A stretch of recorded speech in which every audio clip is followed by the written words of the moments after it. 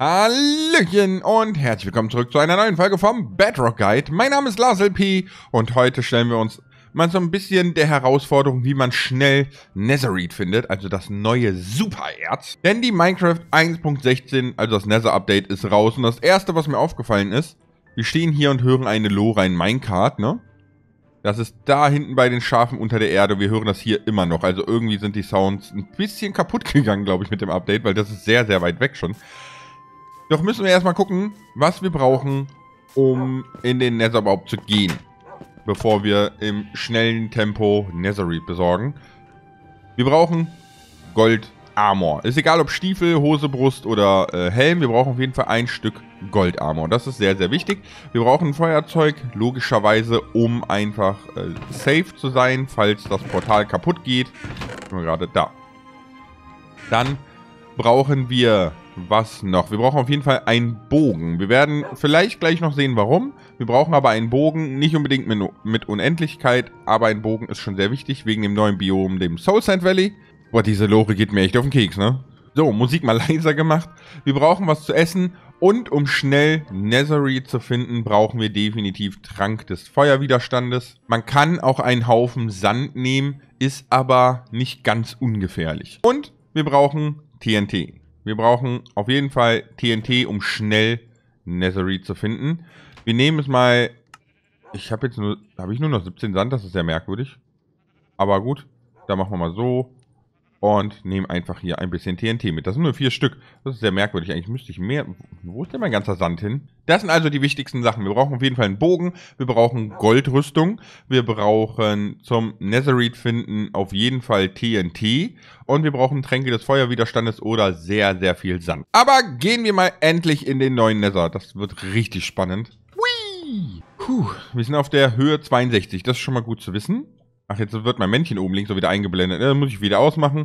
Aber wir sind direkt in so, so einem Basalt-Biom gespawnt, das sehr cool aussieht im Übrigen. Sehr, sehr cool. Gefällt mir. Gefällt mir richtig gut, muss ich sagen. Und jetzt würde ich gerne gerade einmal was gucken. Da oben ist Golderz. Das ist gut. Das würde ich nämlich mal gerade ausprobieren. Denn es gibt ja jetzt Golderze im, im Nether. Und wir haben eine Spitzhacke mit Glück 3 oder mit Behutsamkeit. Hallo. Und ich meine gesehen zu haben, dass es mehr Sinn macht, das mit Behutsamkeit abzubauen, weil man das Ganze in den Ofen packen kann und im Ofen würde man gleich einen gesamten Barren rausbekommen. Fände ich sehr merkwürdig, wenn es so ist, aber auch sehr cool. Deswegen werden wir jetzt das Ganze einfach mal ausprobieren, beziehungsweise das Gold mitnehmen und dann gleich gucken, wie äh, das ausgeht im Ofen, wenn wir wieder zu Hause sind. Und ich bin so geil und bringe meine Behutsamkeitsspitzhacke nicht mit. Okay, dann machen wir das ein andermal. Aber gut, wir wollen für Netherite ganz nach unten. Ganz, ganz nach unten. Das ist ähnlich wie bei Diamanten. So etwa auf die Höhe 15. Und wer es noch nicht weiß, wusste, wie auch immer. Es ist so, dass der Nether einen Lavasee hat unten. Ne, wie wir hier sehen können. Es gibt so eine Schicht, wo nur Lava ist. Die gibt es immer und überall im Nether. Und ich habe echt einen doofen Spawn hier erwischt, weil ich komme hier gar nicht runter irgendwie, ohne tief zu fallen. Das ist ein bisschen blöd. Aber gut, da müssen wir mal gucken, dass wir uns hier vielleicht darüber bauen. Okay, nö, da kommt mir direkt Lava entgegen. gut, ähm... Wir haben ja den Trank des Feuerwiderstandes. Schlürfen wir den mal. Dann können wir nämlich jetzt es anders machen. Wir können nämlich einfach springen. Lalala. Und schwimmen. Schwimmen, schwimmen, schwimmen. Weiter runter, weiter runter, weiter runter, weiter runter. Noch weiter runter. Wir sind gerade mal auf der Höhe 24. Wir müssen da noch ein bisschen runter. Man wird relativ schnell feststellen, so auf der Höhe 23 ist der Boden irgendwie endlos lang. Genau, da haben wir nämlich eigentlich den Boden des Lavasees erreicht. Und jetzt müssen wir mal gucken, dass wir hier unten äh, noch ein bisschen tiefer reinkommen und uns dann wieder einbuddeln. So, hier haben wir das schon. Ah, guck mal, wunderbar. Jetzt sind wir schon mal drunter. Wir können das hier einfach wieder zubauen. Das stört keinen. Aber wir sind unterm Lavasee. Yay, unterm Lavasee. Und das ist das, wo wir eigentlich erstmal hin wollten. Ne? Ich mache hier mal eine Fackel hin, damit wir was sehen. Und jetzt das Problem, dass hier natürlich überall Lava reinlaufen könnte, sobald wir was abbauen. Deswegen ist das auch problematisch mit Lava, äh, mit Sand runterzugehen, weil man könnte ja einfach Sand in den Lavasee schütten und äh, sich so im Prinzip einen Tunnel nach unten bauen. Aber hier unten kann es auch passieren, dass wir Lava begegnen und dann brennen wir natürlich trotzdem auf, wenn wir einen Haufen Sand haben. Ist ein bisschen doof, aber gut, wir sind jetzt hier unten. Höhe 15. Wunderbar. Jetzt können wir hingehen und können natürlich mit Effizienz loshacken. Und wir haben schon welche gefunden. Mega, mega gut. Mega gut. Wie gut ist das denn bitte? Okay. Tja, dann bauen wir den mal ab. Das Ganze bleibt ein Block. Das heißt, wir müssen es nicht mit Glück abbauen. Zack. Und jetzt haben wir antiken Schutt. Und den müssen wir zu Hause in den Ofen packen. Aber wie gut, haben wir schon einen gefunden. So, wir gucken gleich mal weiter. Wer keine Effizienz 5 Spitzhacke hat, der nimmt TNT. Das heißt, wir stellen hier einfach mal TNT hin, nehmen ein Feuerzeugchen und machen Kaboom. So, mach mal. Uh. Au. Da haben wir schon lavafrei gesprengt. Nicht so gut. Und genau das meine ich halt mit äh, Tränke des Feuerwiderstandes. Genau deswegen brauchen wir die nämlich. Weil sonst kann man recht schnell Gefahr laufen, dass einem hier unten was passiert. Also, dass, dass man verbrennt halt. Ne? So, das nehme ich auch noch mit. Wir haben ja Glück 3 dabei. Da können wir ein bisschen leveln, ein bisschen Quarz mitnehmen. Es gibt ja auch neue Quarzblöcke, mit denen ich gerne bauen möchte. Und hier ist auch der Schwarzstein. Den finde ich auch super cool. Würde ich auch gerne mitnehmen. Gucken wir mal weiter, ob wir noch welchen finden. Wir haben ja schon einen. Aber ich sollte natürlich auf der Höhe 15 bleiben. Ne? Das wäre ganz gut. Da findet man das nämlich recht, recht gut, würde ich sagen, auf der Höhe 15. Und... Ich hoffe, ich habe sie jetzt getroffen. Ja. Sehr gut. Was haben wir hier? Auch nix. Schade. Leveln kann man so im Übrigen auch, ne, indem man einfach den ganzen Quarz wegsprengt und die Erfahrung bekommt. Macht aber natürlich mehr Sinn, das Quarz auch einzusammeln, weil letzten Endes zerstört das TNT, das ganze Quarz. Leider Gottes, aber trotzdem kann man so leveln, wenn man das möchte. Und jetzt unser Inventar schon voll. Also das ging ja recht schnell. Nur haben wir zum Glück ein paar Schalker-Boxen mitgenommen. Da können wir das Ganze dann mal drinnen lagern. Und die Goldstiefel haben wir jetzt glücklicherweise oder leider nicht gebraucht, weil wir noch nicht bei Piglins vorbeigekommen sind, einer der neuen Monster Nether. Und immer einen Trank des Feuerwiderstands aufbewahren. Ihr wollt ja auch irgendwie wieder hochkommen durch den Lavasee, ne? Also, einen Trank braucht ihr auf jeden Fall auch wieder für rauf. So, noch ein TNT. Und dann gucken wir mal, hoffentlich finden wir da was. Ihr merkt schon, es ist gar nicht mal so einfach, antiken Schutz zu finden. Also er ist wirklich sehr selten. Und wir hatten ultra Glück, dass wir im Prinzip direkt beim ersten Block welchen gefunden haben. Und mit der Effizienzspitzhacke ist natürlich wirklich so, dass man die da relativ schnell zerlegt. Ne? Gerade hier im Nether, das kennen wir alle, weil die Blöcke gehen so schnell weg. Man hat so schnell so viele Blöcke weggemacht, dass äh, die Spitzhacke sich da gar nicht drüber freuen wird, was die Haltbarkeit anbelangt. Aber es geht natürlich auch so. Man muss kein TNT mitnehmen. Ich frage mich nur gerade, weil hier so viel Schwarzstein ist, ob hier irgendwo eine Festung ist. Also eine Bastion der Piglins. Das ist ein neues Gebäude, was generiert wird. Also ein, wie eine Nether-Festung. Halt nur eine Bastion der Piglins. Das ist auch sehr cool. Werden wir uns auf jeden Fall auch nochmal eine extra Folge angucken, weil das ist sehr groß. Na? Gibt es schon genug Platz, damit ihr spawnen könnt, ihr Kleinen?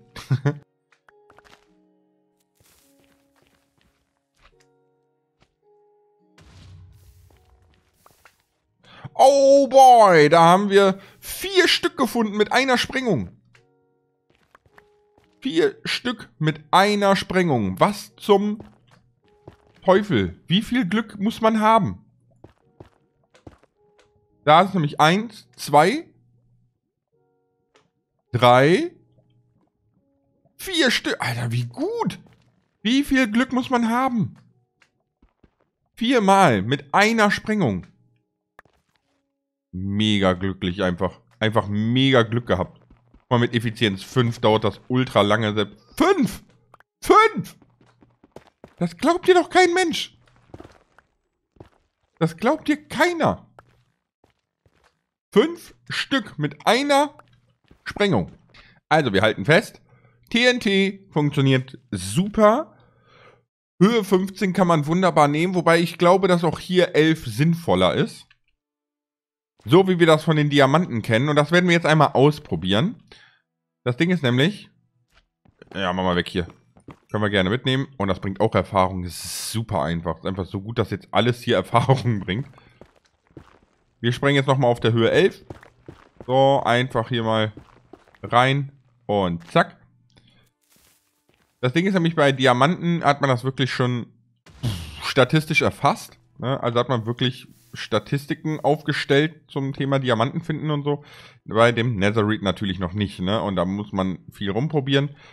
Ich glaube, dass die Höhe 11 da genauso effektiv sein wird wie bei den Diamanten, weil wir letzten Endes jetzt fünf Stück freigesprengt haben auf der Höhe 15 und davon waren einer auf der Höhe 14, einer 13 und drei auf, nee, zwei auf 11 und einer auf 12, ne? Also so ein bisschen beobachten, wo man was freisprengt und dann gucken, ob das passt, ob das nicht passt, was man der Meinung ist, ne? Also ein bisschen rumprobieren. Ich zähle das immer so ein bisschen mit und dann gucke ich, wo war ich denn am erfolgreichsten. So, danke. Das mache ich mir gerade so weg, damit ich hier ein bisschen Erfahrung bekomme. Ich weiß, hier ist ein bisschen dunkel, ne? Schon Level 15, 16, das geht so schnell. Also jetzt, man braucht eigentlich gar keine Erfahrungs- oder XP-Farm mehr. Man geht einfach in den Nether, fertig. Funktioniert super.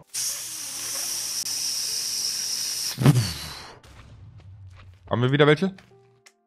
Wir, wir töten auf jeden Fall, auf jeden Fall ein, ein Magma-Slime mit äh, Kies. Ja, viel Spaß.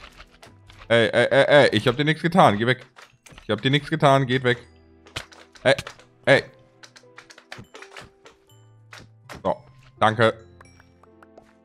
Einmal konzentrieren hier. Was ist denn hier? Was ist hier passiert? Das scheint ja normal zu sein. Oder war ich das auch aus einer anderen Richtung? Nee, das scheint normal zu sein. Hallo. Ey. Diese kleinen. Hey, jetzt aber mal gut hier, danke. Und hier drüben ist nix, ne? Nö, da unten habe ich gesprengt. Hier können wir auch wieder runtergehen. Vielleicht finden wir ja so ein bisschen antiken Schutt, also der hier irgendwie offen liegt, weil das scheint so ein bisschen höhlenmäßig wie an der Oberwelt zu sein. Leider kein Shot, aber wir haben ja noch zwei TNT. Da können wir nochmal versuchen, irgendwas zu sprengen hier. Ich halte hier mal rein. Das klingt auch irgendwie falsch. Aber hey. So. Viel Spaß beim Explodieren. Da ist wieder... Oh, zwei Schutt. Zwei Schutt, mega. Die jetzt beide höher als die Höhe 11 sind. Okay. Man sollte das schon ein bisschen beobachten. Danke für den Schutt. Danke für den Schutt, Schutt, Schutt. Danke für... Da ist noch ein Schutt. Oh, da ist noch einer. Sehr gut. Mit ein bisschen Glück kriegen wir jetzt schon die Netherite-Rüstung zusammen und ich bin keine halbe Stunde unterwegs. Ich bin keine halbe Stunde unterwegs und kriege wahrscheinlich die Netherite-Rüstung zusammen. Okay, ich muss ehrlich sagen, ich, ich habe keine Ahnung mehr, wo ich jetzt hergekommen bin oder wo ich hingegangen bin. Ich habe keinen Plan. Ich habe überhaupt keinen Plan. Hier ist unheimlich viel Quarz. Das würde ich auf jeden Fall gerne noch abbauen und mitnehmen. Aber ich habe echt keinen Plan, wohin oder woher oder was auch immer. Nur Quarz bringt viel Erfahrung, kann man mitbauen. Eine super Sache. Oder da kommt gleich... Oh, danke. Lava einem entgegen. Natürlich auch nicht so geil. Damit wir aber wieder rauskommen, ist es natürlich super simpel. Wir nehmen einen Trank des Feuerwiderstandes, nehmen unsere Spitzhacke und bauen hoch. Da kommt irgendwann gleich Lava. Brauchen wir uns gar keine Sorgen machen, da kommt irgendwann gleich... La da ist die Lava schon. So. Und dann können wir schwimmen. So, wo sind wir? Wo sind wir? Lass mal gucken. Wir müssten noch ganz in der Nähe sein von dort, wo unser Portal ist. Oder war. Äh, da oben ist es. Da oben. Das ist diese Ecke. Ja, ja, ja, da oben. Ich bin hier reingesprungen und da oben müsste unser Portal sein. Äh, oh, guck mal, ein Strider. Hallo, Strider. Ich habe jetzt keine Angel mitgebracht. Na, mein Kleiner? Mit einem Angel und einem Sattel kann man nämlich auf den durch die Lava reiten. Ich muss immer gerade gucken. Ich mache jetzt einfach so. Zack, zack, zack, zack. Da kommen wir nämlich einfach hoch. Können rüberbauen. Und dann sind wir doch wieder safe, oder? Boah, gleich zwei Gas. Bitte, bitte woanders rumsprengen, danke. Danke. Die Strider sehen voll niedlich aus, ne? Wie so kleine, kleine Pinöpel in der Lava. Zwei Gas, die hier rumfliegen. Okay, da ist unser Portal. Ich habe doch gesagt, das ist hier. Mega gut. Einmal rein mit dem antiken Schutt. Sehr schön. Hallo Creeper. Was wir auch noch brauchen für den antiken Schutt ist ein Schmiedetisch. Da müssen wir gerade mal gucken, ob wir den mit den Sachen fertig kriegen, die wir hier haben. Ich glaube nämlich nicht. Vier Holz, zwei Eisen. Okay, dann nehme ich es gleich einfach mit drauf. Ne? Also das nehme ich dann einfach mit drauf, äh, den Schutt.